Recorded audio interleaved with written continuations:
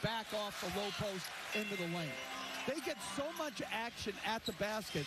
If Bjelica wants to shoot, or Draymond Green wants to shoot, or Looney wants to shoot a 12-footer, have at it. Bjelica long three-pointer is good.